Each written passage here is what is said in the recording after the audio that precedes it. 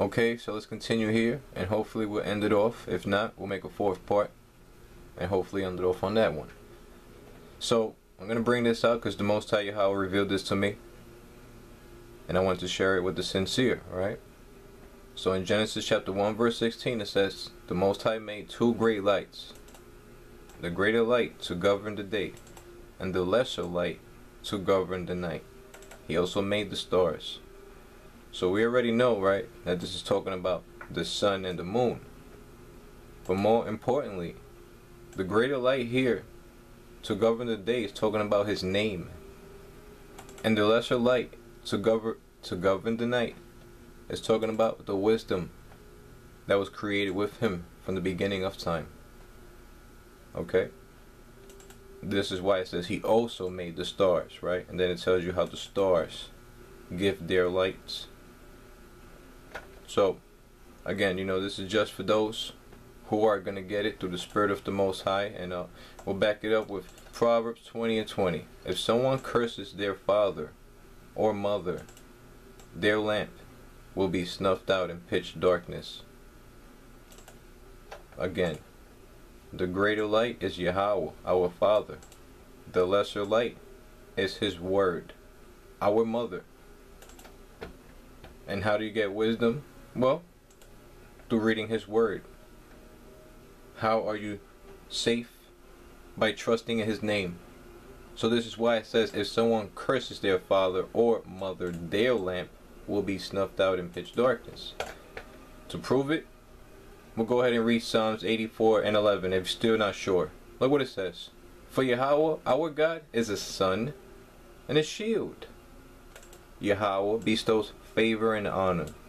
No good thing does he withhold from those whose walk is blameless. Okay? What it says here, for Yahweh our God is a sun. So again, the greater light to govern the day and the lesser light to govern the night, which represents our father and our mother, right? And this is why the other nations, the other nations, they worship the heavenly race. You see that? But we worship Yahweh our God who has no image, who has no form. This is the same reason why the Most High Yahweh told Adam to, to uh, do not call the sun God or the moon God. So let's go ahead and read Proverbs 8 and 22 where it says, Yahweh brought me forth as the first of his works, before his deeds of old. Who is this talking about? This is talking about the excellence of wisdom. You see that? Yahweh brought me forth as the first of his works, before his deeds of old. Again, the Most High made two great lights, the greater light to govern the day, and the lesser light to govern the night. Why do you think it says this here? In Joshua chapter 1 verse 8. Keep this book of the law always on your lips meditate on it day and night, so that you may be careful to do everything written in it. Then you will be prosperous and successful, right? So, those who meditate on the words of Yahweh day and night, those who trust in the name of Yahweh day and night, they will be careful to do everything written in in the words of Yahweh, they will be the ones who will be prosperous and successful, right? They will be the ones who will not be worshiping any images or forms of God. Right? That's what it means by being careful to do everything written in it. That's what it means to meditate on it day and night. This is why it says this here.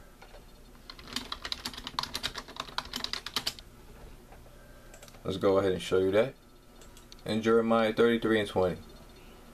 This is what Yahweh says If you can break my covenant with the day and my covenant with the night, so that day and night no longer come at their appointed time, then my covenant with David, my servant, and my covenant with the Levites, who are priests, ministering before me, can be broken, and David will no longer have a descendant to reign on his throne. Okay? So, this is why it says this here in Isaiah 59. And let's start off at 19. From the west, people will fear the name of Yahweh, and from the rising of the sun, they will revere his glory. For he will come like a pent up flood that the breath of Yahweh drives along.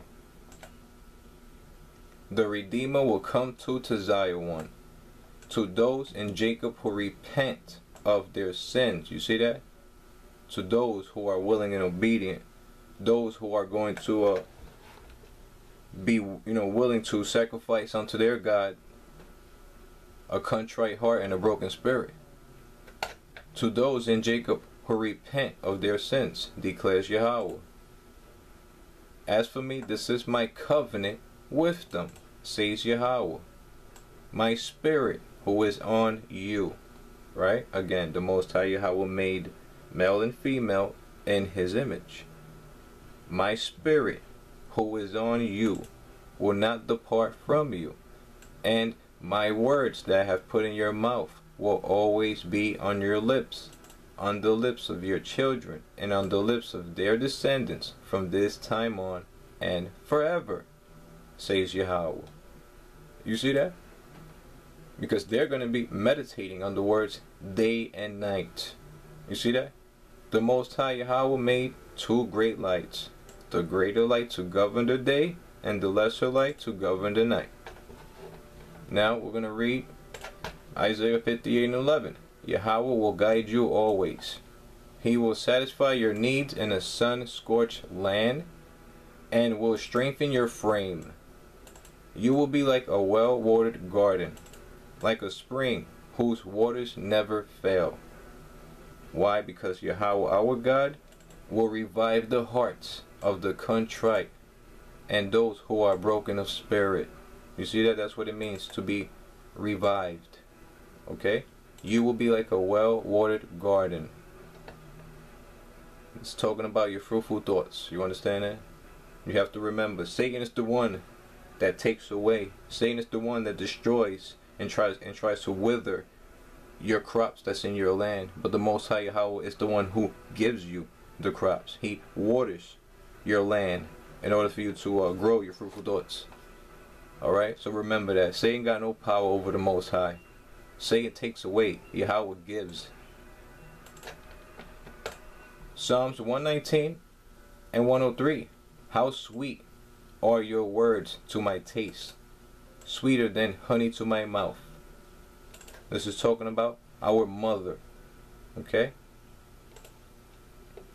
I gain understanding from your precepts Therefore I hate every wrong path.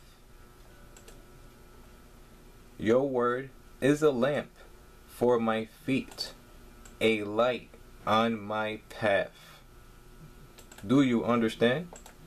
This is why the lesser light was created to govern the night, which is talking about the word of the Most High.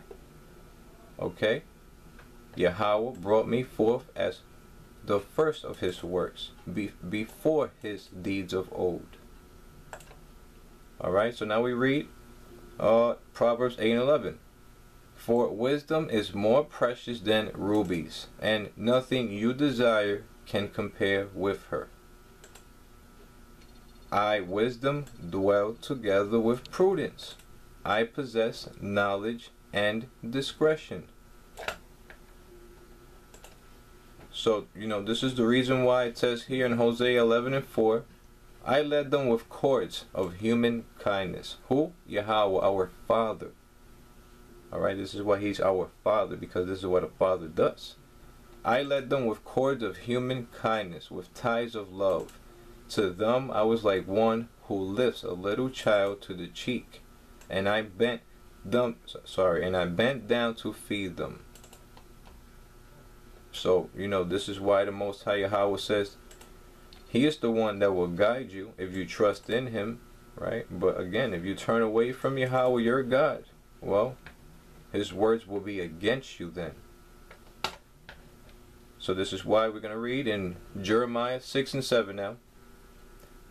Where it says, uh, talks about Yarawashlam's final warning. As a well pours out its water, so she pours out her wickedness. Violence and destruction resounds in her. You see that? It's talking about in their mind. That's what their you know their their temple is full of violence and destruction. There's no peace in the in these people's minds. These people who are into religion, these people who are in these uh, cults and these Hebrew Israelite camps out there. Violence and destruction resound in her. Her sickness and wounds are ever before me. Take warning, Yarawashalam, or I will turn away from you and make your land desolate, so no one can live in it.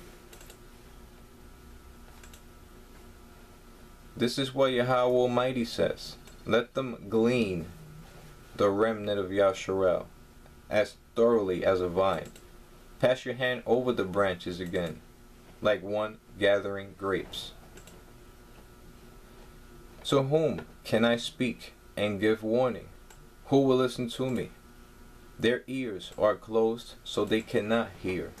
The word of Yahweh is offensive to them. They find no pleasure in it. This is why it says here in Jeremiah 2 and 22 Although you wash yourself with soap and use an abundance of cleansing powder, the stain of your guilt is still before me, declares the sovereign Yahweh. Which we're going to talk about the stain of Yarawashalim's guilt, of Yasharal's guilt, of Yahweh this guilt. Okay? Against the whole family. That's why the Most High Yahweh says this here again. To whom can he give warning and who will listen to him? Their ears are closed, so they cannot hear. The word of Yahweh is offensive to them. They find no pleasure in it. That's why they have no wisdom. That's why Hosea 4 and 6 says that my people are destroyed from a lack of knowledge. Why? Because they're too busy giving into pleasure and corruption. And we just read, I think in the first part of this video, how whoever loves pleasure will become poor. Okay? So again, everybody, right, they find pleasure in money and wealth, rather say. They find pleasure in dressing nice. They find pleasure in hooking up with people. But they don't find no pleasure in the word of Yahweh. Okay? So, as far as the people who trust in Yahweh their God, look what it says here. But I am full of the wrath of Yahweh, and I cannot hold it in. Pour it out on the children in the street, which we're going to talk about that, most high willing, in a few. So it says, pour it out on the children in the street, and on the young men gathered together. Both husband and wife will be caught in it, and the old, those weighed down with years. Why? Because they're complacent. All right? Just because you, know you are whatever age, it does not mean that you cannot learn this. You can unlearn the things that they taught you and you can learn this. Okay? You can. So this is why the wrath of the Most High are going to be upon these people because a lot of these people here are just going to be complacent. They're going to be arrogant. They're going to be, you know, too busy worrying about other things that will not be able to save them in these times and in these days. Right? So this is the stain of the guilt that is ever before the Most High Yahweh. Okay? Let's go ahead and show you this here, right? In Jeremiah 2 and 22. The stain of your guilt is still before me, declares Yahweh. So our people is given into corruption. You see what I'm saying? Our people, they out there doing all kinds of violence, right? Our people, they love themselves some voodoo doodoo, some santeria, right? This is the stain of the guilt. Your idols that you people worship, your religions that you love. This is what the Most High Yahweh was talking about, right? So let's go ahead and show you this here. You got the Vatican red going on. You got Freemason blue going on.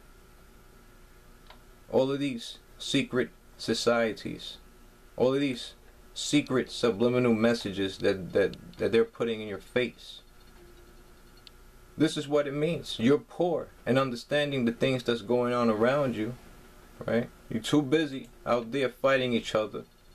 Bloods versus Crips versus Nietas and Latin Kings and whatnot, right? But see, you gotta understand that in these times and in these days, the Most High Yahweh says that if you don't turn to Him, then guess what? You're no different than the enemy. Okay, you're doing the will of your enemy. This is what it is. This is witchcraft right here. Okay, this is witchcraft. You understand that? So again, you know, the Most High Yahweh says, to whom can he teach knowledge to? You see? Who's going to listen? The word of Yahweh is offensive to them, right? You know, because why? I probably might get some hate comments, right, for some gang members. Oh, what's up? What's up, brother? You don't like the color red? You don't like the color blue, right? So, you know, the word of Yahweh was offensive to them, which, you know, I know plenty of brothers and sisters that used to be in gangs or are in gangs, and guess what? Sometimes I break bread with them, speaking about the word of Yahweh, and they don't take it offensive. You see that?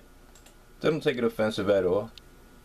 Alright, so the only people that are going to take it offensive are those who are complacent, those who like to believe lies, those that do not know what their enemy have done to them. Let's go ahead and read Habakkuk chapter 2 verse 15. Woe to him who gives drink to his neighbor, pouring it from the wineskin till they are drunk. So that's what's going on with our people out there. They they drunk, given over to corruption, so that they can gaze on their naked bodies. See, that's what the enemy does. He gave you these things so that you can be out there representing it. Okay? So that you can be out there taking pride in it. Turning you away from your God. You see that? That's the trap. But you too busy out there wanting to kill your own brother because of a color. Right? But the Most High Yahweh says that in these times and in these days, it does not matter about color. Many peoples of many languages are going to come to worship Yahweh, their God, whether you are in a gang or not. And see that that's the past. All of that don't matter now. It's time for you to awake from confusion. It's time for you to, you know what I'm saying, stop drinking that wine that the enemy is giving you. Because that's what it is. This is the reason why the Most High Yahweh says that our people are out there falling, dying left and right. Because why? Because they're drunk. Drunk on madness. Proverbs 23 and 31. Do not gaze at wine when it is red, when it sparkles in the cup, when it goes down smoothly. In the end, it bites like a snake and poisons like a viper. You see that? Look what it says here. Your eyes will see strange sights. You see that? The voodoo doodoo. And your mind will imagine confusing things. Listen, the mind, if you don't take care of your mind, the Most High Yahweh says that your mind will be wasted away.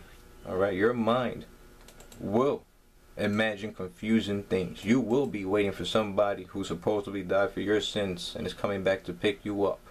You will be hoping that your government is going to save you from disaster and everything else. This is what it's talking about. Okay, so this is what happens when, when you know when you're drunk on the lies of the enemies. Right? Let's understand this here. This is the stain of the guilt that is ever before the Most High Yahweh. So we're going to read this here. This is from the book of Adam and Eve. And uh, this is chapter 20, right? And it says here, verse 2 But as to this, Genun, Satan came into him in his childhood, and he made sundry trumpets and horns, and string instruments, cymbals and psalteries, and lyres and harps, and flutes, and he played on them at all times and at every hour. And when he played on them, Satan came into him sorry, into them, so that from among them were heard beautiful and sweet sounds that ravished the heart. Then he gathered companies upon companies to play with them, and when they played, it pleased well the children of Cain, who inflamed themselves with sin among themselves, and burnt as with fire, while Satan inflamed their hearts.